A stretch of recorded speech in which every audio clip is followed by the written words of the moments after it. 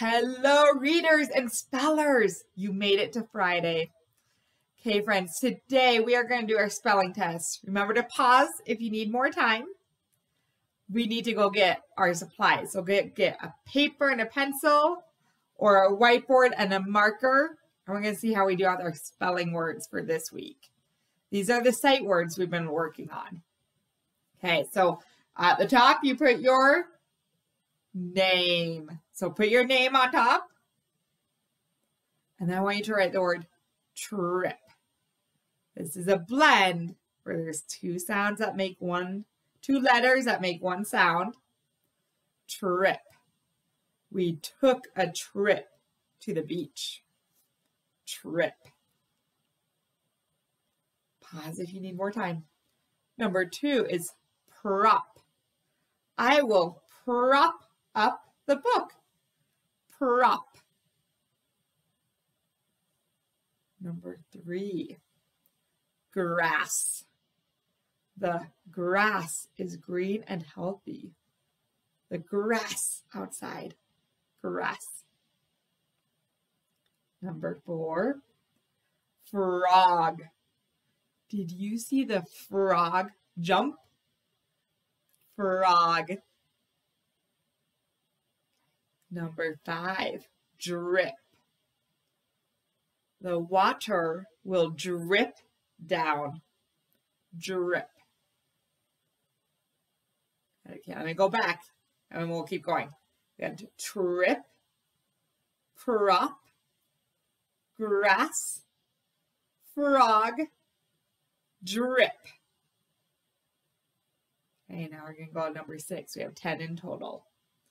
Number six is brim.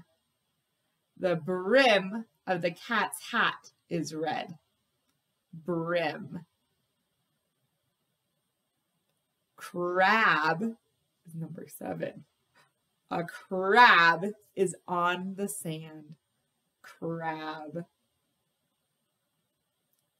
Number eight is trim. Mom will trim Meg's hair. Trim. Trim. Number nine. Now. We will go home now. Now. And number 10, went. Nick went to the library. Went. Okay, let's review. We have number one is trip, prop,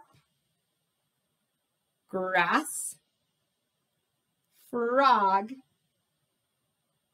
drip, brim, crab, trim, now, went.